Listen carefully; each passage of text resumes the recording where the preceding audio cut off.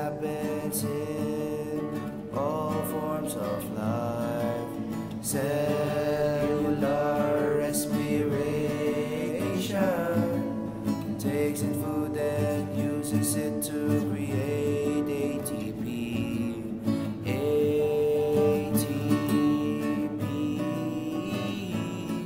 a chemical which the cell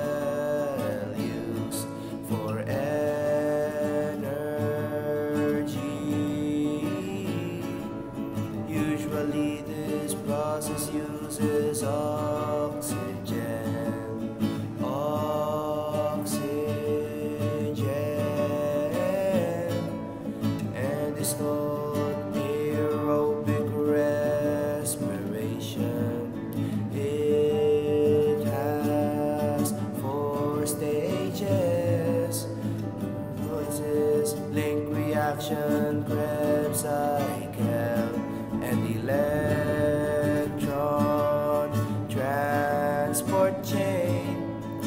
This produces ATP, which supplies the energy that the cells need to do work when they don't get enough oxygen.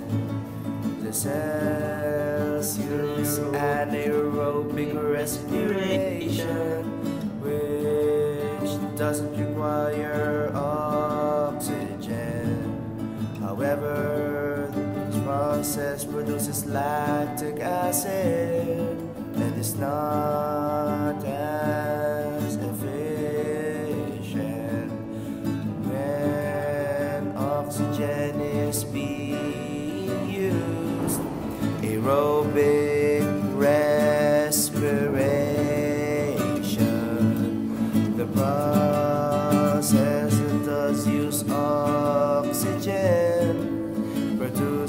much more energy and doesn't require lactic acid. It also produces carbon dioxide as a waste product, which then enters the circulatory system.